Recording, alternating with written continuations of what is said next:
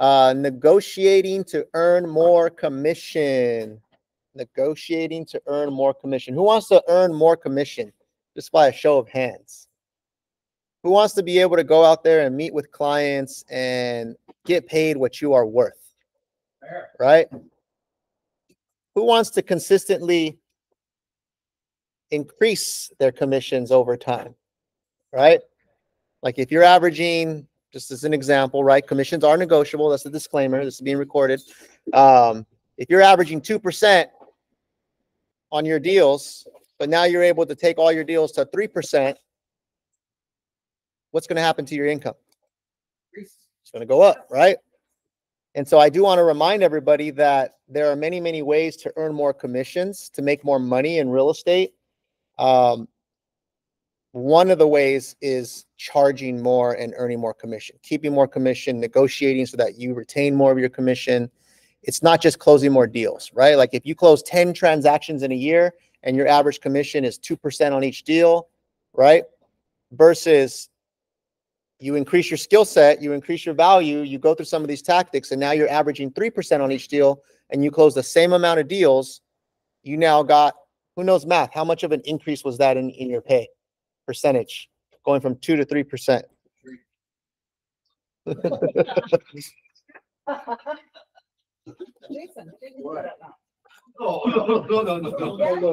Showtime treat. Showtime. Stop. Everyone's doing the math. Let's go. What is it, Dan? Look, Come on, figure it out, Dan. It's fifty percent. Fifty percent, fifty percent increase in commission. Sorry. A 50% increase in commission, right? So hear me out, guys, right? Because some of some people think like, hey, I want to earn more commission, so I got to go negotiate with my broker and ask them to give me a higher split. And sometimes you're you're let's say you do get a higher split, it's not 50% more, right? Because the pie is only so much, right? So that's that's only a part of the equation, right? Yeah, if you close 10 deals at a 50% split and now you're at a 60% split, yeah, it went up. But what's going to be even more impactful is if you increase your commission per deal, right? How much you make per each deal. Because going from an average of 2% to an average of 3%, that's a 50% commission. That's a lot more than the 5 or 10% you got more on your split with your broker, right? So I want you guys to keep that in mind, right? If you want to make more money, it's a combination of things. You can close more transactions, you can increase your price point, right? You can earn more per deal, you can try to get a higher commission split with your broker. You can also get more referrals from your clients, right? So that you're generating more referral business and repeat business. But when you do all of those and you combine a little bit of each, that's where your income goes like through the roof. Just imagine like, okay, this year I closed 10 deals, but next year I closed 20 deals, right? Because I, right? And then I also increased my average commission from 2% to two and a half. So on those 20 deals, I got half percent more right? And then maybe now because my production's higher, I'm getting a higher commission split. Maybe that went up by five or 10%, right? And then now I move my price point up. I was typically working with first time buyers at a million. Now I'm doing listings and I'm doing, you know, referral buyers and I'm at 1.5 million is my average price point. And so when you add all those up, guys, like your commission is going to go through the roof, right? Your commissions that you earn. And so part of it is being able to negotiate and earn more commission when you're working with clients, which is what we're going to talk about today. So I'm not here today to talk about like how to do the buyer presentation, how to do the listing presentation, anything like that. I really want to dive a little bit deep into the mindset and the strategies um, that you need to have as a business owner so that you can negotiate and earn more commissions. Because if you don't understand how this stuff works, it's not like a secret script that I'm going to tell you and then all of a sudden like you're getting paid more. That's not that's not what it is, right? It's really understanding how it all works that will allow you to make certain decisions within your business. You guys follow me? Yep. Okay, so that's why I told you guys today. This is a little bit higher level, right? It's not supposed to be tricks or anything like that. So pay attention, take some notes, and and take something from it. Um, okay, mindset. Let's talk about the mindset. So here's one concept, right? I want you guys to understand and retain in the absence of value, price always wins. What does that mean, guys? It means if you don't provide a value to that to your potential client, they're gonna ask for like a, a price reduction. Exactly, right? If you're not providing enough value to your client where they see this as a big value, then by default, it's always about the price and who's going to charge less. Give you an example. I go to Jason, he's a realtor, to help me buy my home. I go to Dan, right? I interview both of them. Jason is providing like a ton of value because his skills are there, his track record, his presentation, he prepared, he has it all broken down. He explains it to me. He's really thorough. He goes through A through Z, like kills it, crushes it with the service, the presentation. And he's charging 2%. Let's just say that, right? An example. I go to Dan, and Dan um, gives the same level of service, right? Same exact presentation. They're like neck and neck but Dan's charging one and a half. Where's more value? The one and a half, right? Because he's cheaper, but he's giving me the same, right? Now let's create another scenario, right? You go to Jason and Jason kills it, crushes it. He's charging uh, two and a half percent. I go to Dan. Dan does a terrible job, right? He's not really good, not really prepared. This is just the made up Dan, not this Dan, right? he's charging 2%, right? He's cheaper. But when I compare the two, I'm like, I know I'm going to get way more with Jason. So who would I rather go with? No. I'd rather go with Jason, right? Because this is the big purchase for me, right? Even though Jason's a little bit more, he's two and a half percent. But because I see the value in Jason, I see everything that he's done and what he's going to give me, I'd rather go with Jason, even though he's a little bit more. And so when there's no value, guys, that you're bringing to the table, this is the first thing that we're talking about because this is going to set the precedence for everything else, right? If you're not providing value, you're not doing a good job, you're not showing up prepared, you're not taking the time to really help the client, it's going to always come down the price. And so when people are shopping around, they'll go for the cheaper person if you're not bringing value. Even though you may know, like, hey, I'm the better agent. I know I'm going to do a better job. That agent sucks. But hey, maybe you didn't demonstrate your value. And maybe they saw that your price was a little bit more, but the value wasn't there. So therefore, I went with, in my mind, the default, right? You guys follow me there? Um, has anybody ever paid more for something when they could have gotten it a little bit less? Give me an example. I have an example. Mhm. So, um, this is, this is totally off subject, right? I was buying tools at Harbor Freight, like a cutting wheel. Cool. A tool. uh, And it was like some cheap stuff from Harbor Freight. Yeah. And it didn't last that long because I was cutting metal, right? So I was like, man, forget this. I'm gonna go get a Dremel one. It's like the best, Yeah, but it was like ten times more expensive 10 times more. because it lasts longer. Okay. Quality. So you went to Harbor Freight, you paid 10 times more for a tool that you probably could have got cheaper, but because you knew that tool was going to do the job better, faster, was more valuable, you were willing to pay more than maybe like buying a cheaper tool, which you probably could have got the job done, but it would have taken a lot longer and it would have been a lot more headache and stress. Right? And so what we got to ask ourselves is which tool are we? Are we the one that Dan described as the one you paid 10 times more for? Or are we the cheaper alternative version that's not going to do as good of a job? And you got to decide who you want to be as well. Right? Because you could be the cheap guy. Like, don't get me wrong. There are companies out there, which we all know them, the discount brokers, and their whole value is what? Cost. I'm cheaper. I'm cheaper, guys. Go with me. So what they try to do is they try to make up volume, but they make a lot less per deal. We see it all the time, guys. Your discount brokers, your rebate brokers, your 1% listing agents, whatever, that that's their advertisement. Their whole advertisement is let me find the people who just want cheaper. And like I'll probably do more sales, but if you were to calculate the numbers, even though it looks like they're closing a lot of sales, like do the math. Like they're only getting 1% on the deal and they're paying for all these things. They're making a lot less. But but they're the top producer, right? they close a lot of transactions. I don't know. For me, I'd rather be the best at what I do and charge more and get paid more and work with clients who really want to want value from me. Because those same clients that are willing to go with cheaper are the ones that are going to leave you for someone else that's even cheaper, right? Like it's called the race to the bottom, right? In the race to the bottom, everybody loses. When you're just trying to be the cheaper and the cheaper and the cheaper and the cheaper, You lose, right? Because you earn less. Um, any questions? Yeah. So I, I think, you know, obviously value, I think is number one. But I think, and I don't know if Enrique probably has this in his slide, but I also think it's important how you make the client feel.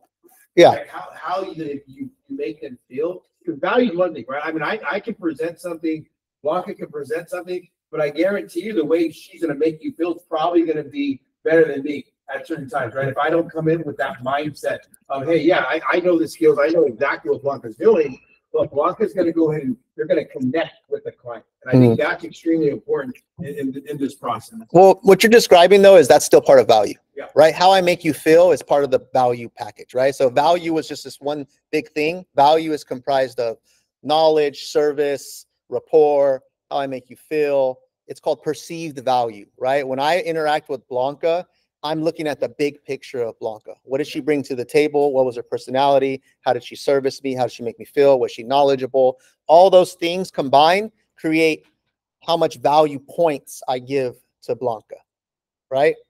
And so if, if Blanca has a value score in my mind of 100, and then I go to Jason and his value score is 75, I'm gonna go with Blanca, right?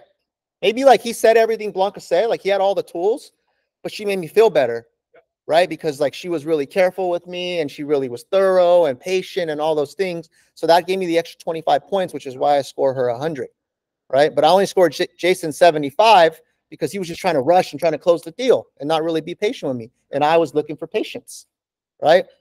And so it's er- all of those things combine equal value, right? Okay, next concept, guys. Business owners make business decisions. You have to remember that you are a business owner, right? Yes, we're real estate salespeople. Yes, we have a license. Yes, we sell houses. But at the end of the day, you guys are independent contractors and you run a business, right? And so it is your business decision on what you want to charge and what you want your business to look like. My job as your coach, leader, trainer is to try to help you build that business as big as possible. But at the end of the day, you got to make business decisions as well, right? Like for one agent, um, maybe they're okay with making 10 grand on a deal, right? But for someone that has like 50 grand a month in expenses, maybe 10 grand on a deal is not enough. Like I want to go after bigger deals because like I need to make more, right? Maybe someone's okay with doing a deal for a $3,000 paycheck at the end of the day. I don't know. That's up to you guys, right? And so the big exercise you got to do is what is the minimum amount that you need to make for this deal to make business sense? Because if you don't know that number or you've never even thought about that number until this conversation today and you're just kind of going with the flow, you're not really being intentional, right? And for you to really crush it in your business, you have to be highly, highly intentional. Everything you do should be calculated, right? Because the more calculated you could be, you're not just guessing, right? So I want you guys all to write a number down, right? What's the minimum net income? Meaning after all expenses, splits, whatever, you walk home with this check. What's the minimum that you need to walk away with for it to be okay? I'm good with this deal at a bare minimum. Everyone take five seconds to write that down. Doesn't have to be exact, right? Like I don't want you to sit here and do it crazy, but just what comes to your mind, right?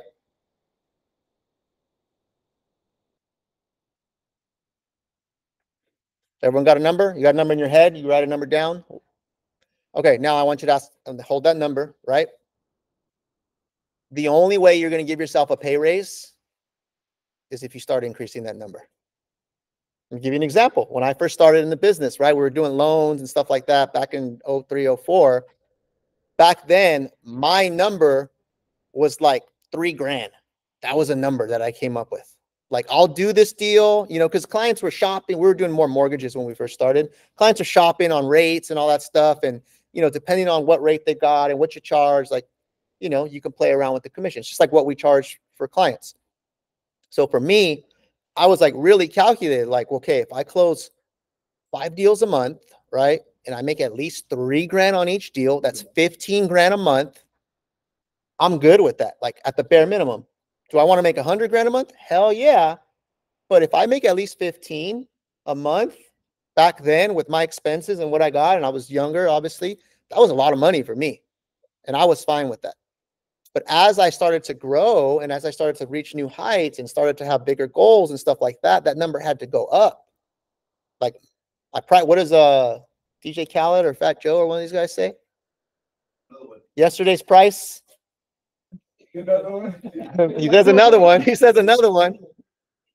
But he says yesterday's price is not today's price, right? Like what I was charging back then or what I was okay with back then is not what I'm okay with now because I'm at a different level.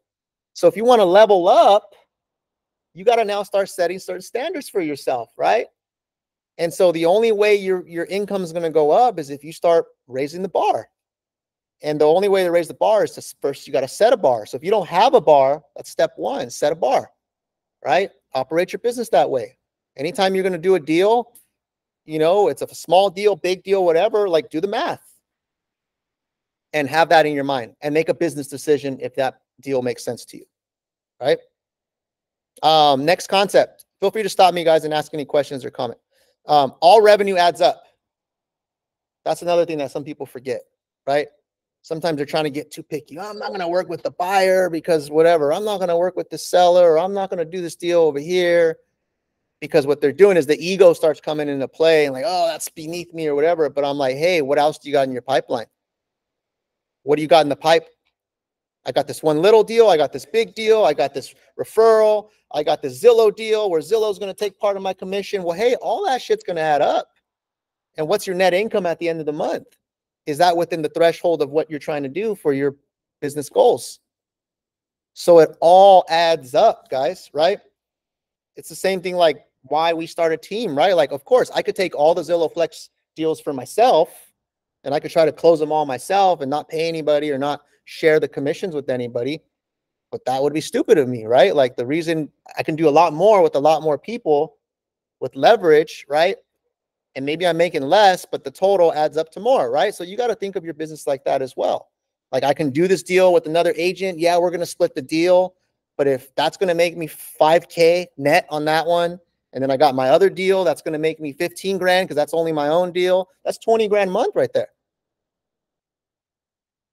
And so sometimes we're passing up deals or we're skipping or they're beneath us or whatever because we're not taking into account that it all adds up to the bottom line.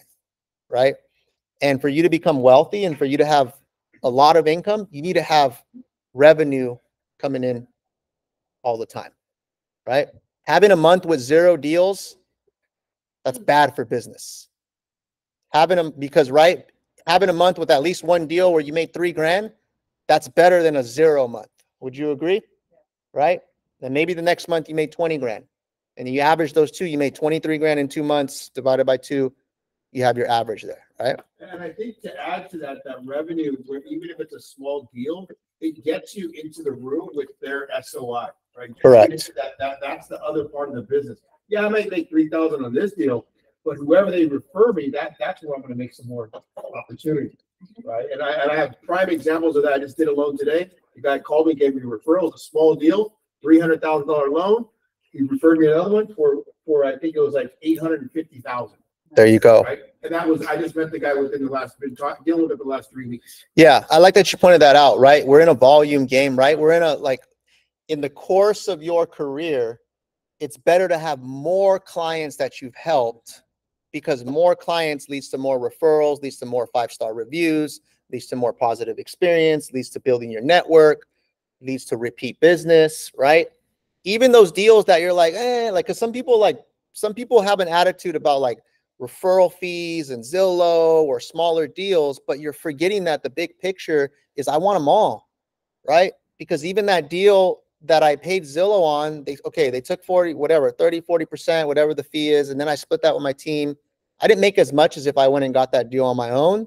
But now that guy referred me to other people. And we have many, many examples. I have Blanca's a living proof of many, many examples where she got one deal and then that turned into like millions of dollars of, of volume in referral business where now we're not paying a referral fee on those ones. But had she not taken that initial deal, she would have closed off opening it up to those other ones, right? Just kind of going into that. I mean, the way I look at it, guys, I'm going to work either way. I'm going to be here for 40 hours. So, even, you know, yeah, I would love to only do the $3 million deals, But shit, why, why not do a three hundred, four hundred thousand dollars? You're here anyways. You're here You're anyways. here Yeah. Go, go to work, right? I mean, that, that's, that's kind of the way I look at those, those, those opportunities. Okay, let's keep it going, guys. Um, really on the first slide, we got a few more. The last one, collect as much as possible, right? Sounds simple. Like we're we're in business to make profit, guys. Like that's just the bottom line, right? Don't sell yourself short. Go out there and collect as much as possible, or another way to say it is collect as much as available, right? Collect as much commission that is available on the table. And that's going to be different for every client, right? If you go meet with the seller and they're interviewing five agents, there may not be as much commission available, right? As if it's a seller that's like a referral and they're only talking to you. It's a little bit different, right? Because you- you're kind of setting your fee and they may not be shopping you around, but the guy shopping around with five deal for five different agents, commission's probably going to be a factor. So I may not be able to get like the top top commission on that one, but I may be able to get something that's within my in my standard because I've done the math, right? And I get another deal and I get another happy client. Right?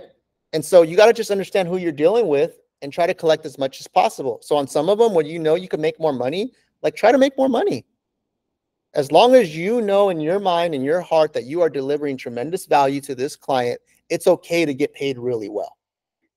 Now, if you're doing a bad job and you know you- you're just you're you're not a good agent, you're not doing a good job for these clients, you're not really servicing them, and then you're still trying to demand a higher fee, okay, you're out of alignment, right? But I can say all of us in this room, like we really go to bat and go the extra mile for our clients, and we really want to make sure we deliver a great experience. And that experience comes with you being rewarded handsomely, right? As handsomely as possible. all right? Get your money, guys. All right. Okay. Next part of this, guys. You got to know your numbers. If you don't know your numbers, then you're like dead in the water, right? And I get this so many times, like newer agents, right? Like, hey, I'm closing a deal. I don't know what my split is. That's like getting hired at a job and going and working 40 hours a week and you don't know how much you're getting paid hourly. So if you don't know your numbers because you haven't taken the time to like look at the remember what we talked about or, or when you sign it keep in mind everybody on our team and pretty much any organization i would say the majority of them signs a contract saying this is my split this is what i get. But then for some reason a lot of agents just get amnesia and then they don't know what their split is and they thought it was something else and then they are like here's the contract right? It's just like your client you sign a listing agreement at the end your client goes oh what are you charging me again? Oh i thought it was this. You all know mr client it's in the contract i'm charging you 10% right whatever it might be so it's the same thing here guys you got to know your numbers right if you, you don't know what your splits are then how can you know like know the math um, so you got to know your splits. You got to know your costs on deals, right? Like if it's a listing, there's marketing costs, right? There's staging, there's home inspections, there's a lot of things that are part of the transaction where some of us have no clue, right? So it's up to you as the business owner. Remember in the first slide, you're a business owner. You got to take the time to, to understand the costs of the business, right? Just like us, I know how much this office costs every single month. So when I'm telling you to turn the AC down, it's because I know how much it costs, right? because I'm a business owner, right? And I know just simple, the less I spend and the more I earn, the more profit I make, right? But if you don't know what you're spending on each deal, meaning how much is going to other people, how much is going to the company, how much is going to costs and fees, all those different things, like you're not really running your business at a high level, right? Um, know the simple math, guys. There should be a simple math equation you can do in your head. Really quick, I'm just going to throw it out there, okay? If I got a million dollar deal and I'm earning 3% on my commission, how much gross commission is that? 30,000. Did anybody not know that number? It's okay if you didn't, if you're like, uh, I didn't know that number. Simple math, right? A million times 3%. But if you don't, your phone has a calculator, guys, right? Like serious. Some of us don't aren't as good as numbers, right? It's just it's just that's just life, right? Some of us are better at writing, reading, whatever, but maybe we're not the numbers person. But the great thing is we have all the tools now, right? So you can easily punch that in the calculator or have a resource that you can go to and be able to do the math, right? Um, but you got to know the simple math. Hey, this is a million dollar client, 3% is my buyer broker agreement. That's a $30,000 commission on this particular deal. I'm going to probably take home 50% of that. So how much are you taking home on that? 15K, right? That's simple math that you could do in your head right there, right when you're meeting with the client, right? Now, let me give you another one. A million dollar listing, you're charging 3%, but there's 5K in costs. So what's the gross commission? 25 after your costs. And if you're taking home 50% of that, I'm just using round numbers, 50% of that, 12 and a half, right? So this deal, if I sign this deal, that's a 12 and a half dollars, 12,500 in my pocket. So you have to be able to just do the quick math because then when you're going out there and you're meeting with clients and you're trying to negotiate or you're wondering what fee I should charge, if you don't know the simple math, guys, then you're not going to be able to really navigate that conversation. Right? And so remember, I'm speaking to everybody, but for some of you guys, like this may be an area you need to sit down and study a little bit, right? Some of us may be like, yeah, I know this. This is easy. Um, any questions so far? Okay. You got to have a goal, guys, for total revenue because this kind of talks about what we talked about in the first slide. But right, if you don't have a goal every month, then how do you know if like your efforts are being directed in the right place? So everyone needs to have a goal in the month for how much they need to bring home, how much revenue they need to bring home. And they need to know how to work those numbers, right? What do the what does that mean in terms of deals? So if I want to make $10,000 a month and I'm at a 50% split, just give you an example. That means I need to bring in 20,000 a month of gross commission and I can do the math. If I'm charging 2% or 3%, you can figure out, okay, that would mean I need to at least close a one, $1 million deal every month at 2%. Now, what if I'm not closing million dollar deal? Well, that's two $500,000 deals equal a million or a 750 and a 250 in Stockton, right? That equals a million, right? Or the volume, right? So you have to know like what your numbers mean, right? So that you can hit your goals. If you don't know what your numbers mean, then we're just like going through the day by default, right? We're getting pulled in all these different directions and we're not really making business decisions. Uh, and then having a minimum standard. We already talked about that. What's your minimum standard on each deal, right? For it to be in line. You know your own capabilities. You know how much you want to work, how much effort you're putting in, how much you want to bring home. You have to have that math. And what I would do is I would have these numbers calculated. I would write them down somewhere and I would obsess over these numbers, guys, because whatever you give attention to and whatever you focus on and whatever you obsess about, what happens to it? It comes to reality, right? It expands. If every day I'm thinking about getting swole, getting ripped in the gym, and all I think about is my diet and my workouts and my numbers, and I'm jotting down my my reps and my lifts and all that stuff, like over time, I'm going to get in shape, guys. Like if I'm like really focused on that in your business, if I'm like obsessing over, okay, I need, I need two deals in contract. I need 4 million in volume because that 4 million in volume at an average of two and a half percent, that's going to give me this much gross commission times my split. I'm going to make 25 grand a month and 25 grand a month. I'm crushing it. I'm killing it. I can have my goals. That needs to be in front of me at all times because when I come into the office to make my calls, I'm not just making calls to set appointments blindly. I have an actual number that I'm chasing and that I'm going after. And we want to talk about how to get motivated, right? You got to have goals to get motivated. You don't know why you're in here. I'm in here because Jason and Enrique say show up every day and make calls. No, you got to be in here because it's attached to a, some sort of goal, a financial goal. And so the more you can become obsessed about your financial goals and know your numbers, the more that you're going to take the actions because you're constantly reminded like, hey, this is what I got to work after today. Does that make sense, guys? Okay. Questions, questions, questions. All right. Let's get into some uh, strategy with uh, these clients think in your mind right now, guys, what is your value to a buyer or a seller, right? Because remember, we talked about in the absence of value, it's always about price. So if I want to earn more commission, I need to make sure I bring value. And in order to bring value, I need to understand what is valuable. Follow me?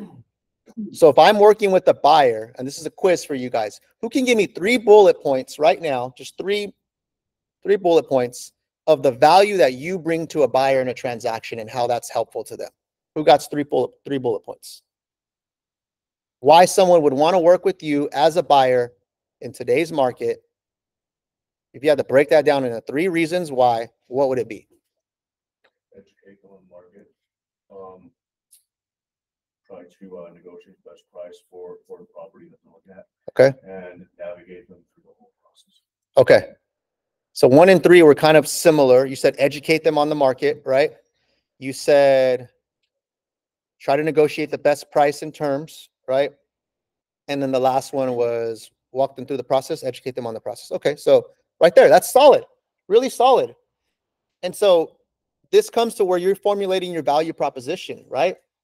When I meet with the buyer, what is the value that I bring to a buyer? Always be able to summarize that in three points.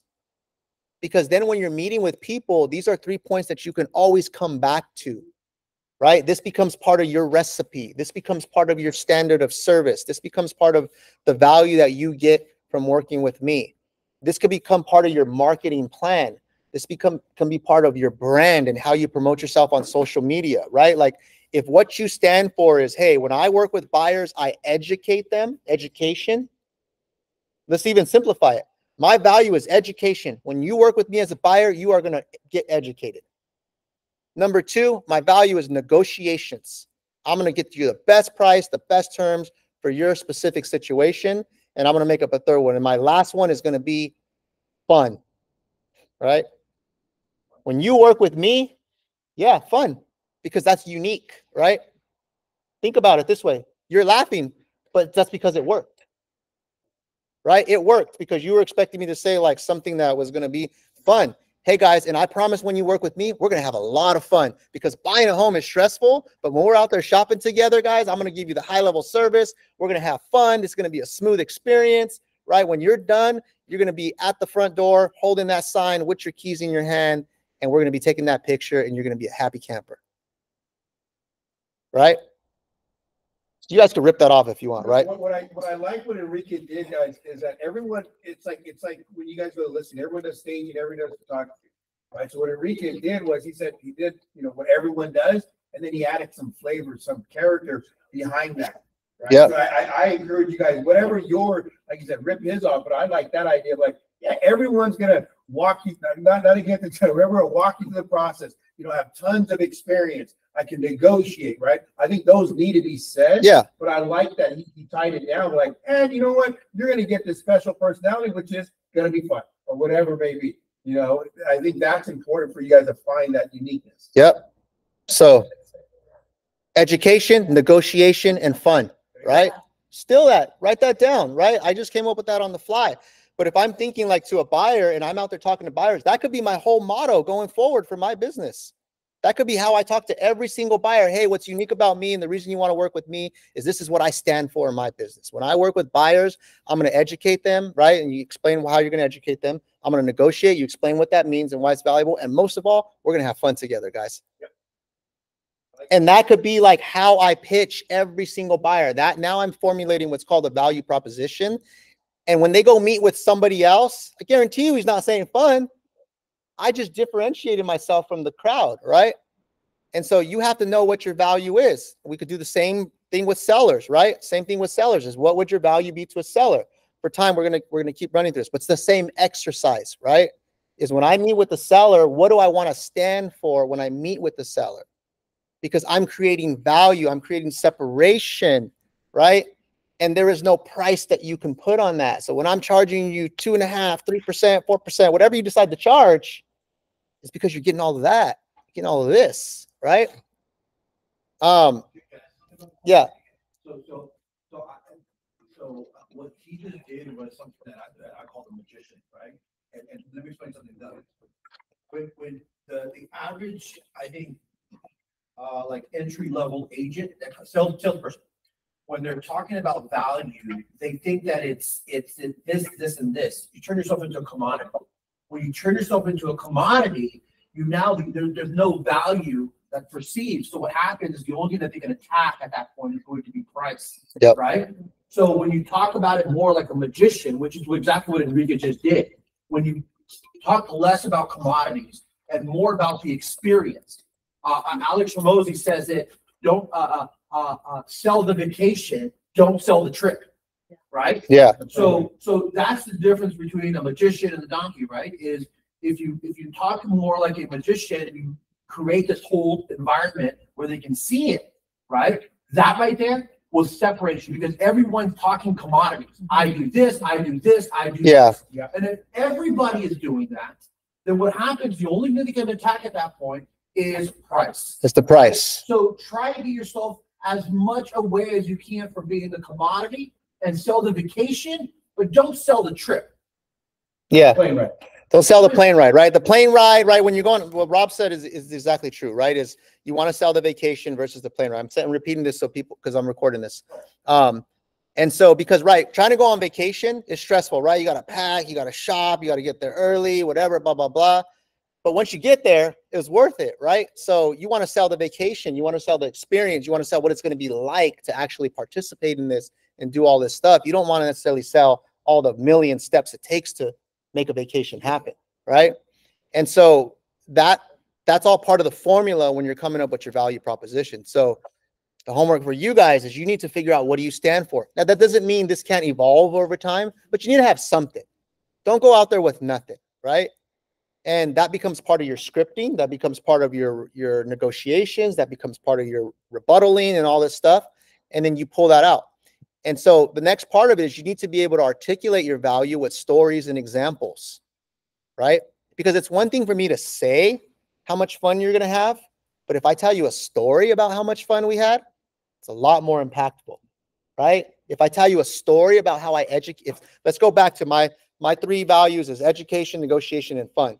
If I sit there and tell you a story about how I educated a client and it really, really helped them, hey, Mr. Customer, you know, I know we're getting to know each other. Let me tell you a little example of how I educated my last client, right? When he came to me, he was a first time buyer. He had no clue about even how to apply for credit, about, you know, how to get his taxes in order. He was self employed, right? He made good money, he had good credit, but he didn't know where to start, right? So what we did is we started off with a buyer consultation.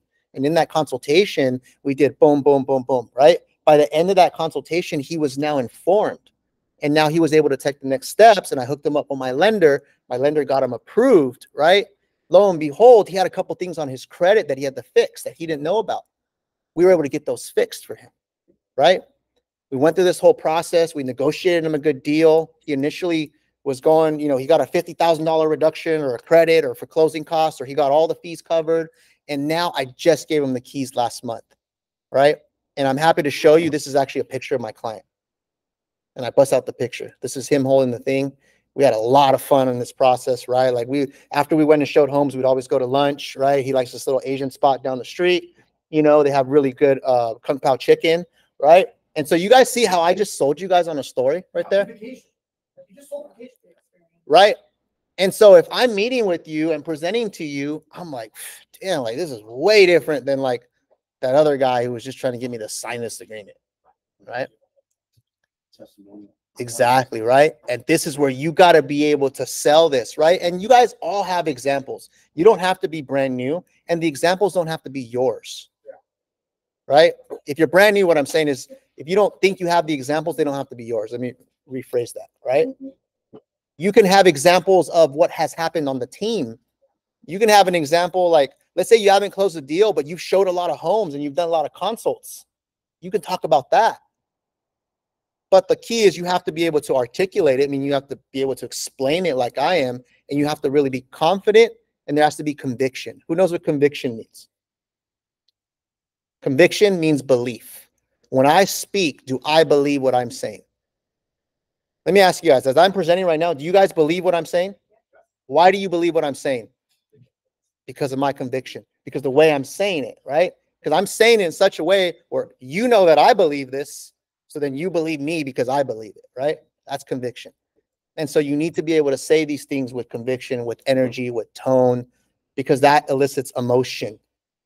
And when people feel good with the emotions, they're going to want to pay you more for the right reasons, right? I think value, I think value plays a big, big role in, in it, and, but how to explain value is really, really important. So I would definitely end up, uh, uh, focusing on value. The, the, here's, here's another example, the way that I've also heard it, is you look at your phones, right? You talk to an engineer, they'll tell you the, the geeky way of how a phone works. The majority of people don't care about the geeky stuff. They just know, they just want to know that it works or have the, the gist of it, right? As salespeople, we give the gist of it, not the, not the other stuff, not the, not the, not the high tech. Now, is there gonna be people that are gonna want the dirty stuff? Yes, there is, right? But I would probably say from my experience, the majority of people just want to know what, uh, the gist of it. Same thing. Can you fix that problem? Yes, I can. Great. That's, that's what they want to know. So you're selling them the vision that you have the confidence and the ability to get them exactly what they want. They Yep. really don't care too much of the details that are involved in it. Yeah.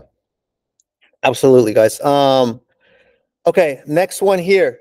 Does your value outweigh your fee? Right? It all comes back to what we just explained, right? If I'm giving a tremendous amount of value and I say, okay, for the fee that I'm paying, I get all of this because the way it was explained, articulated, conviction, everything that we talked about, the three points, the value proposition, the stories, and all those things. Then in my mind, I start to say, well, hey, it's worth it, right? Um, and so in the absence of value, it's always about price. More value, right? Follow these steps. Um, the last thing, guys, is just to I always want you to remember that your unique value is always going to be you, right? Because and you should not try to fight a different battle. Give you an example is I went to a listing appointment recently and I started going over, you know, our presentation and what we offered and a different list of uh, options and fees and stuff like that and the client was just stuck on oh that's how much you charge and like you guys charge that much and you know that includes staging or it doesn't include staging somebody else you know uh, was charging less and they were including this and all this stuff right and so for them what they were focusing on was just really the commodities and the services right and what i what i had to say because if i were to try to fight the battle of like who's offering more that's a losing battle right? Well, I offer my staging's better than their staging, right? Okay, that's you can't win that fight, right? And so what I said is, hey, like I heard her out. I said, hey, I, you're totally right. Everybody offers this stuff, right? This is kind of the standard nowadays. If you're not offering this, then you're not even at the table, right? I go, but what you don't get in all of this is you don't get me. So if you go with that guy, you're not getting me. And here's why you want to go with me. And then I started selling her on my experience, how long I've been in the business. I started articulating my value. I started giving her examples of how I've uh, earned more sellers money. I even gave an example of a recent sale in their neighborhood that we submitted an offer on and how that agent didn't come through and really negotiate and left $60,000 on the table. Right. And I started going into stories and explaining that. And I said, Hey, look at, you got to decide, right? Like I, I brought the analogy of golf, right? I go, everybody knows who Tiger Woods is, most famous golf player out there, right? I play golf too. I go, but I'm not as good as Tiger Woods. I go, you can give Tiger Woods the same exact golf club. He can use my clubs and he'll do a lot more with my clubs, right? The same clubs. I go, you can give any agent a real estate sign and go put a sign in front of your yard. I go, I'm just the Tiger Woods when it comes to real estate. I'm going to do a lot more with that sign, right? Because of the value I bring, because of all these different things. And so by me painting that story, now she was like, she apologized, right? For like bashing me, right? She was trying to bash us on the fees and stuff like that.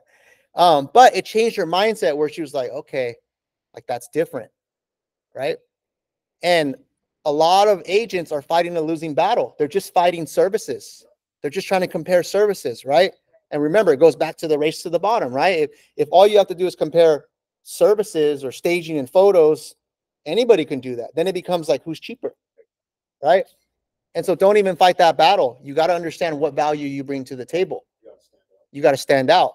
And the only way to do that is to tell them about you and why you're unique and why you are going to offer something different, something that you bring to the table. And some examples, right? If you're experienced, it could be your experience, your track record, your know-how, right? All these different things. How many times you've been through the finish line, right? If you're not that experienced, it could be like, hey, I'm newer, I'm younger, I'm hungrier. I'm going to work harder than that other guy who, like, he's already been doing this for 20 years. He's tired. He's ready to retire. Like, no, like me, I'm giving, I'm going all in on your listing. right? And you paint that. Let me give you an example. Last night, I was in the office till 10 p.m. making calls for one of my sellers, right? I was, or for one of my buyers or whatever it might be. And so now you can start selling against that, and you can you can sell what's unique about you. You guys follow me? That's not. All right. Li- Listen, there's one thing that you get in there saying, all these agents, when they're selling commodities, because the majority of agents sell commodities. So when, when they're going in there, they think that by them saying these commodities, that they're the big shit, that they're, they're the greatest. But I want you to understand the word that Kika said. Kika said, Mr. Customer, you're impressed with that? That's standard. If, if you're coming to the table with that right there, that's standard. Let me tell you why you want to hire someone like me. Yeah. You see what I mean? You see how he was able to take what everybody says, oh, I'm doing this, I'm doing that, and, and put it, and, and kind of downplay it. And then he was able to add to that. Yeah. That is value right there. That's value. None of this other bullshit that happened, the staging, none of that stuff matters. It's the other stuff that happens. Yeah. Right? After we went through that dialogue right there, guys, the client wasn't even talking about staging or photos or anything. It was like that was like an auto response, right? They didn't really care about that, right? It was now like focused like on what am I going to do to help get their home sold, right? Me personally, not like what was my stager going to do, right? Stager's not going to sell the house. Um, and so I got them shifted from like commodities to now like value proposition, right? Put me up against any other realtor, right? That's the game you want to play. The other thing is that's not even measurable, guys. Remember that. There's no way to measure that as an agent, right? It's like, hey, listen, I'm a better agent. I can negotiate better. I can do that. There's nothing now that the other that they can, that they can checkmate you on say. And so, but wait a minute, you know what I mean? You now become something that's not arguable. Yeah. Point. Exactly. Okay, guys. Um, last slide here, I believe. Yes. Negotiation strategies. Right, I'm coming in right on time. Um,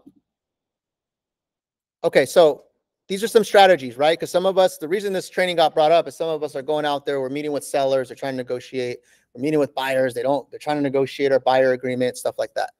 So here's the thing is if you didn't do any of the stuff in the beginning, you're already like losing, right?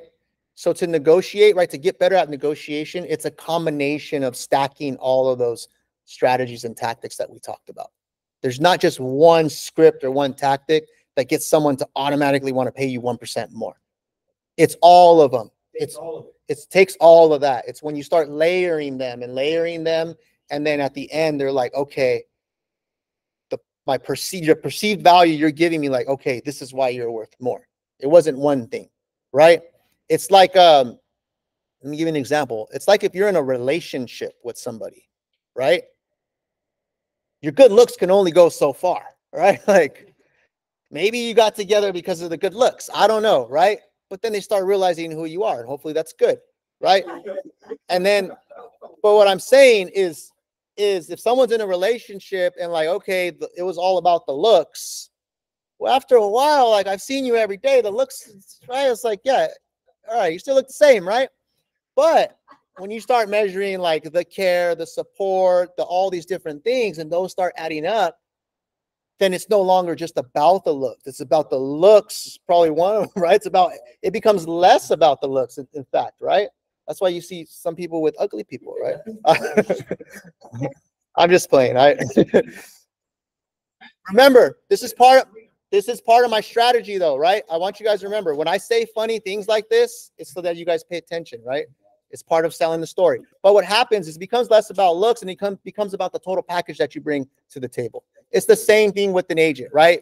It becomes less about your stats, right? Or what company you're with or how many sales you close or whatever, right? That's the analogy that I want to relate to. And it becomes about the total package that you bring to the table for that client, right? The stats is probably one thing, the you know, your track record, but then the negotiations, the care, the fun, all those things, and in turn, now you're a great agent in my eyes, right?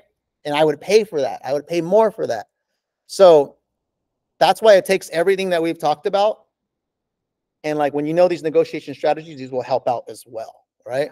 So if you're going to negotiate with someone, so let's say you've done all of that, right? This is the scenario. You've done all of that. And now there's trying to negotiate the commission, right? You need to isolate and understand what their concerns are. That's number one. This is a simple strategy, right?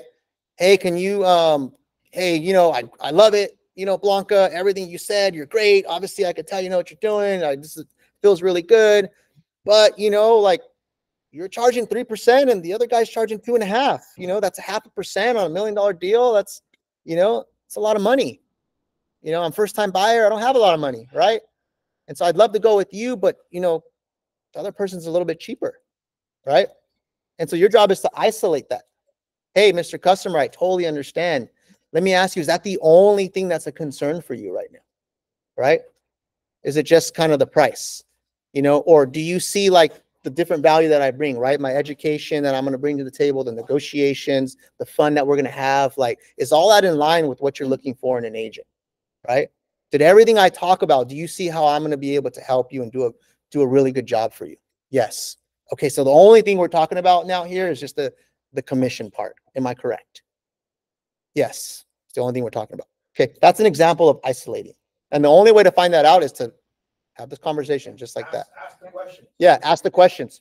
Is there anything else besides this that, you know, you're hesitating on or would stop us from moving forward? Okay. Question? Wouldn't you wanna ask them what services are the other agent's gonna provide? and No. say That's a standard?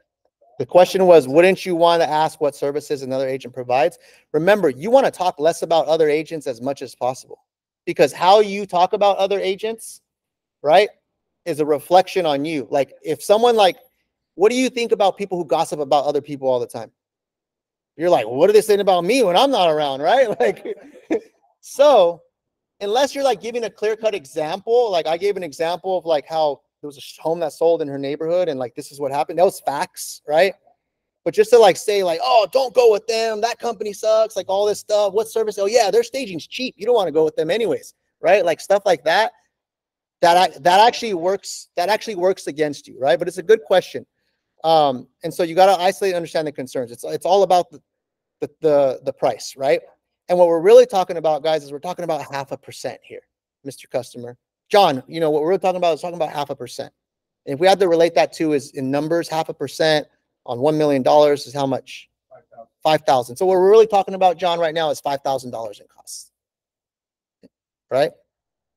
And so let me ask you this, John. Is it really about the five thousand dollars? Because I know you have a budget and you have money put aside for all this, right? I'm assuming you're not buying a home and you don't have any money, right? You know, your lender already pre-approved you, stuff like that. Or is it really that you just want to make sure you get the best deal possible on this home? Because when someone is is trying to negotiate on fees, what do they really mean? So that goes to point number two. Understand what they really want. Is it that just they, hey John, do you just not like me and you want me to get paid less? Or is it just that you want to make sure you're getting the absolute best deal when you buy your home? And ask them that. And I bet you'll laugh. No, no, I like you, right? Sorry, I didn't mean to offend you, right? Okay, I just want to be clear. Did I do something wrong? Like, is it just you don't think I'm worth, you know, what I charge? Yeah, put their guard down. No, it's just, you know, we're on a budget we're just trying to get the best deal possible. Hey, I totally respect that. I would be doing the same thing, right? So what I'm really hearing is you just want to make sure you get the best deal possible. And then what I'm going to do from there is I'm going to show them how I'm going to get them the best deal possible. I'm going to give them examples. Hey, look at, let me give you an example of how I got my client a really good deal, right? I had other clients that thought the same thing. This last client I work with, right? My fee is typically 3%.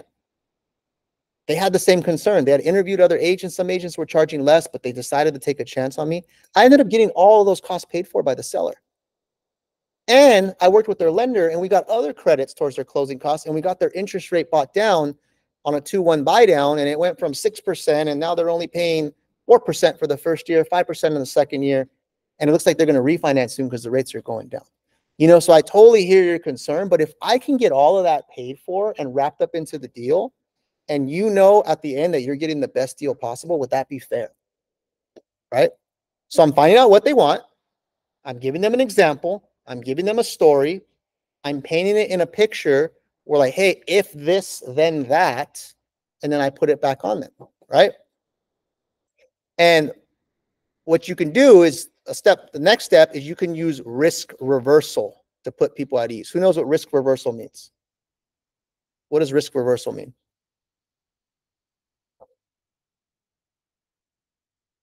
Anybody know what risk reversal means? Did you just do it when you're saying like I, I would, I would be in the same position as you. If you were power buying too, you're basically understanding what their concern is and, and consolidating, like, you know. with.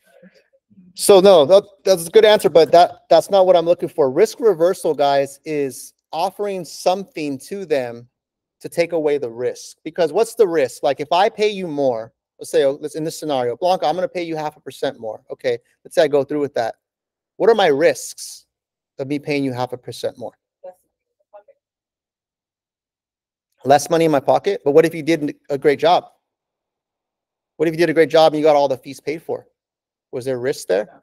But the Oh. risk, the risk would be that, that you didn't comply with what you said initially that you were going to do. Exactly, right? So what Rob, Exactly. So if I'm telling this person like, hey, John, if I can get all these paid for, even though my fee's are a little bit higher, you see the service, you see the value, right?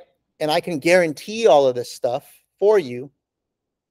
If I don't do that, then you don't have to move forward with the deal. Or you can cancel if you want to cancel and you don't owe me anything.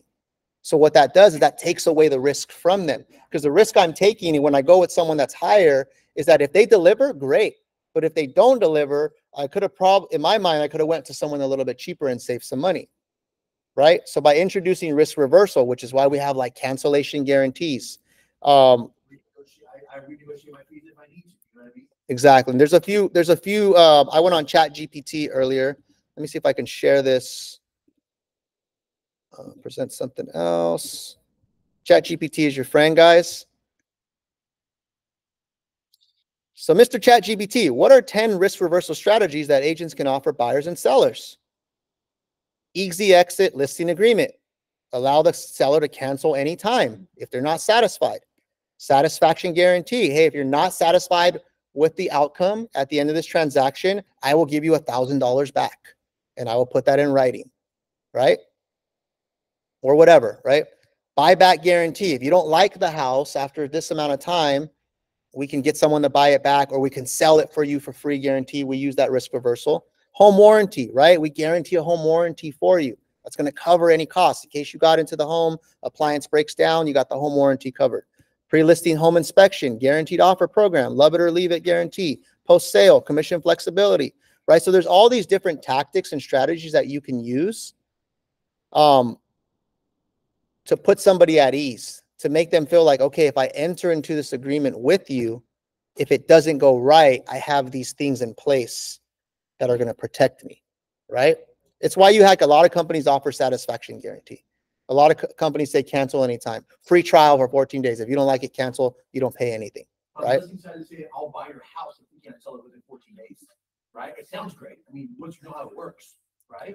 But they- there's just so many of them guys, and, and I would use it as your back pockets, right? Or that could be part of your value proposition.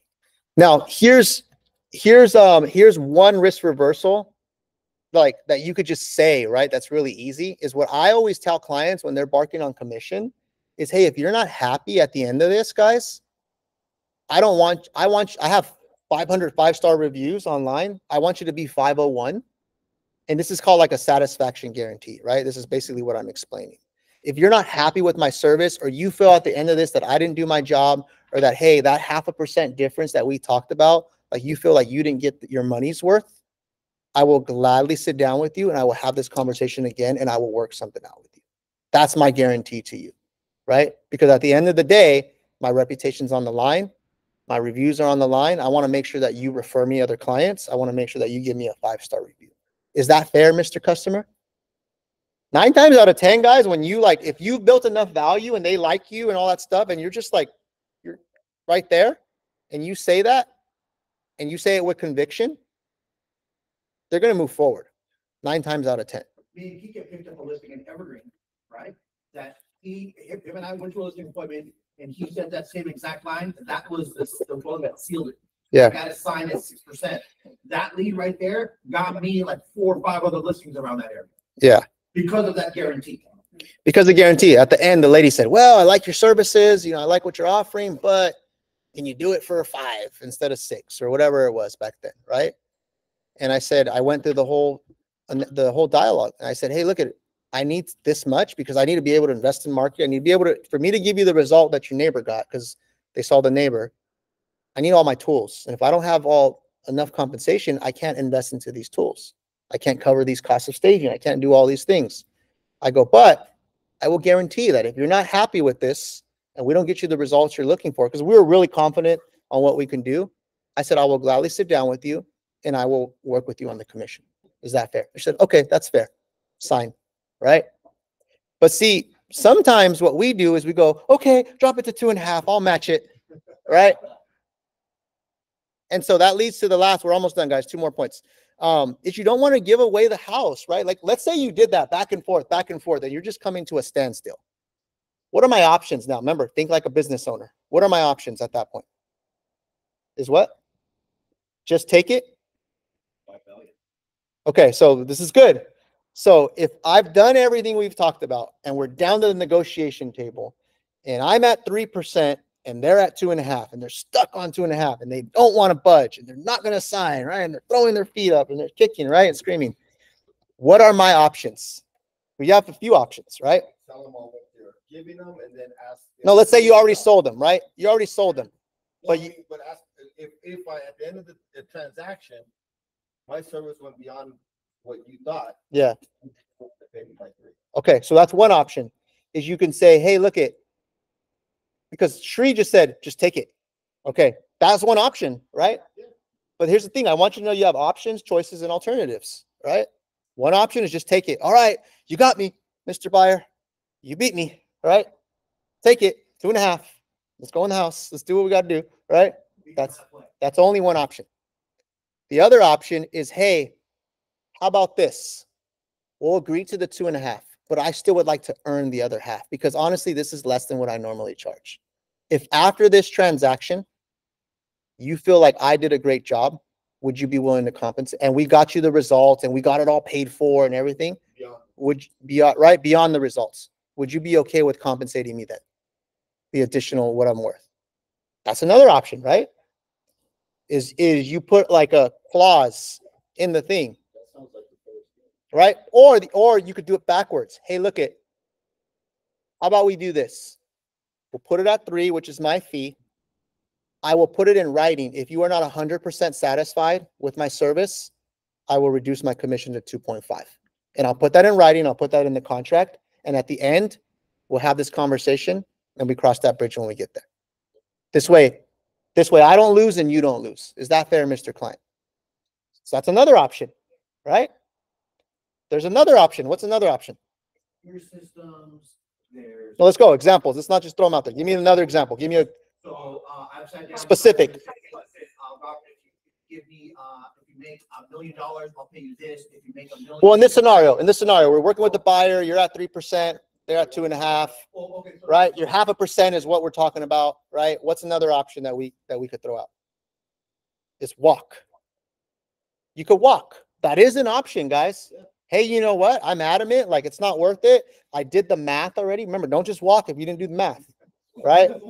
Remember, I did the math and I did the math and you know what? Based off like the, the dollar amount on this deal and what it's gonna pay and all that stuff, it's just not worth it for me, right? So that's an option. Right, Hold on, we gotta, we gotta wrap up, guys. We're already over time. Um, that's an option is to walk away. You can, you can say no to the business. I would say that should be the last option, right? Because you probably should have did the math before you went out there, right? Or at least had the quick math. Okay, here's another option. What's another option, guys? You guys are missing like the most.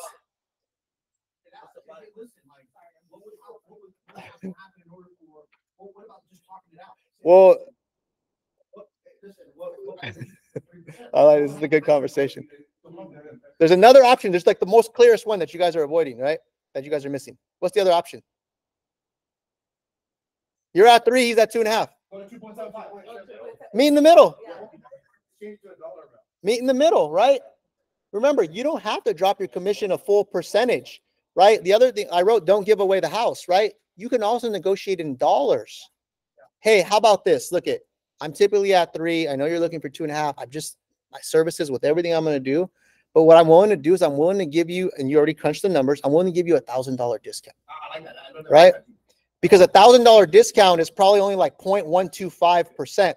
But in the client's mind, what did they get? They won. Because what you got to remember, guys, at the last point here, what you got to remember is the last point. Please say it out loud. One more time, everybody together. It's nothing against you, right? But some people will always negotiate. Sometimes it's just the personality, sometimes it's a cultural thing, sometimes it's a it could be multitude of things, guys, right? Like some people just like they always want to get the best deal. There's some people that they just want to see what they could get, right? I've had clients like that. I don't like those clients, right? Where I could tell, like, let me just see if I can get you lower, right? Like, my dad's a negotiator, right? Shout out to my dad if he watches this. But here's the thing, guys, is right. All is fair in business, guys, right? You cannot get your emotions involved in this. You cannot lose your composure, right? We're wrapping up here. We cannot lose your composure. You cannot get your emotions involved.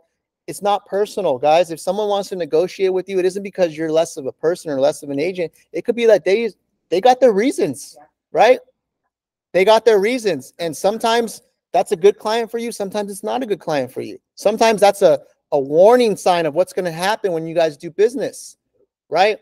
We want to do business with realistic, level headed people who are willing to cooperate and stuff like that, right? It's not always like that. And so, so remember, you have to make business decisions, right? And so you can negotiate, you can meet in the middle, you could walk away, you could say, "Hey, how about we put this in writing? If this, then that." Which I like that style because I've so I'm trying to get my commission no matter what because I know that's what I'm worth, right? But remember, you don't always have to just give away the house, and that's what a lot of agents default to. Okay, fine. Okay, fine means like I gave up. I submit, right? But what are you showing to the client? Your negotiation skills are weak. And I just told my client that my three value points were education, negotiation, and fun. Well, guess what? I just showed I'm not a good negotiator. Because if I was willing to drop my fees just like that, what am I going to do when it's time to negotiate on your behalf? And that's a line you can say, hey, Mr. Client, I told you my skill set was negotiation. That was one of the values. That's why you want to work with me. If I just drop my commission, I don't stand up for what I'm worth, how am I going to go stand up for your money when it's time to submit the offer? Yes. Right? Yes. And so what I right what. I don't want to do, Mr. Client, is I don't want to start off our relationship with me just dropping fees uh, because that's not how I work. Right. But I do understand your concern. Right. I put myself in your shoes. There's other people who offer less. I can't speak for them. All I can speak for is for what I bring to the table. And you can tell through my conviction that I'm going to do a great job for you. So why don't we do this? Why don't we put it in writing? If you're not 100% satisfied with this process, I'll put that in writing in the contract. I will go down to 2.5. That's the story. That's the vacation. And then you stay quiet. And then you stay quiet and you say, is that fair? Right? And and that may happen. My, yeah. my biggest, That my biggest takeaway is, one thing is this, guys, his confidence, right? His confidence and Enrique's willing to have those uncomfortable conversations. Those uncomfortable conversations come with asking those questions. Yeah. Isolating, understanding, right? And I think that that's, that's a big takeaway for me watching this training is that one is definitely his confidence. Two is he, he's, he's ready for those uncomfortable conversations, right? We already know they're gonna negotiate. Any Yeah. one of your clients is gonna negotiate. So why not be prepared, be confident, and be able to have those uncomfortable conversations? I think it's huge. I was gonna bring that up as well too. Remember, uh, Is, is the biggest thing is having these, is acting that initial uncomfortable conversation. That is the hard part that a lot of people want to avoid. And it's not, it's not out of your control. It's gonna take a lot of practice. It's gonna require you to really just throw it out there and then stay quiet. And then hear what they say and then fight that back. so so we asked you guys, those are all great points, guys. Thanks for for contributing. We asked you guys in the beginning, right? This is what I'm wrap, I'm leaving you off with is who wants to earn more commission, right? Everybody said I do, right? Everyone raised their hand, right? Are you willing to do what it takes to earn more commission? Are you willing to learn how to be a negotiator? How do you become a better negotiator? Practice. Meaning when you go on your next appointment, you need to implement this stuff. You need to have those uncomfortable conversations. And those you can't role play within each other. You too. role play with each other, right? You need to have tools in your belt. You need to know that when someone wants a lower commission, my process is isolate, understand, Give them some guarantees, risk reversal. Don't give it all away. I know that I have multiple options when I'm negotiating commission. I don't just have to drop to whatever fee they set. Remember, I set the fees in my business, not somebody else. Right. And so I don't just have to drop and, and, and just throw my hands up. Right. That shows weakness. Your license says what? What? What's your title when you get your license? Real estate salesperson. In sales, it's the art of language, it's the art of communication, it's the art of negotiation, right? This is what you signed up for. The better negotiator you are, the more commission that you're going to make, the more you're going to earn in the long run. Fair enough. Fair enough. All right, guys, that's all I got for you guys. Let's clap it up.